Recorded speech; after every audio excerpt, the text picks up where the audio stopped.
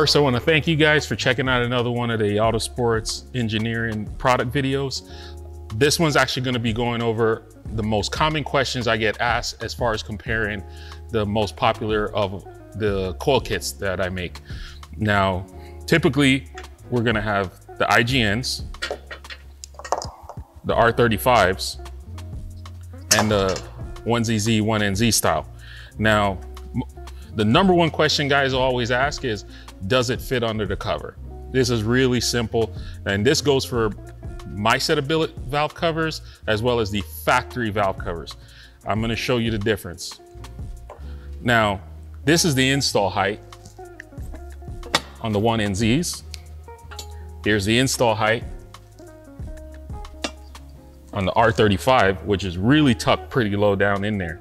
Now, the IGNs obviously will not clear because the bracket mounts up here. But for instance, here's our billet cover. This covers up those two options just fine, perfectly fine. So if you're a person that wants to get a more cleaner set or something that's not as you know obvious as far as what your you know your power you're making anything else those two coil options are going to be your best viable output or output. Now i'm going to show you for instance with the ign bracket real quick. The igns we can actually tuck this in and actually wedge that in there and you can see just how high these things are gonna sit. So guys will ask me, does this fit under the cover? Obviously, if you know what you're looking at, there's no way it's gonna fit under the cover. So you shouldn't even be asking that question in my opinion. But these two definitely will fit under both the factory Toyota cover for the VVTi and the non-VVTi. You know, this one's resting a little high, but it's just because it's not seated all the way down. But it does clear underneath there just fine. We don't have to use spacers or anything else.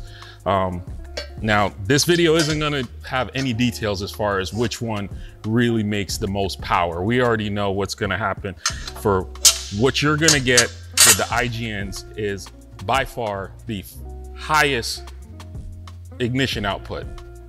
But obviously you're gonna give up the ability to tuck your tuck your covers and everything else. But if you wanna make max power, IGNs, you'll be able to run a larger gap on the plugs and actually have a much more powerful discharge on your spark energy per cycle.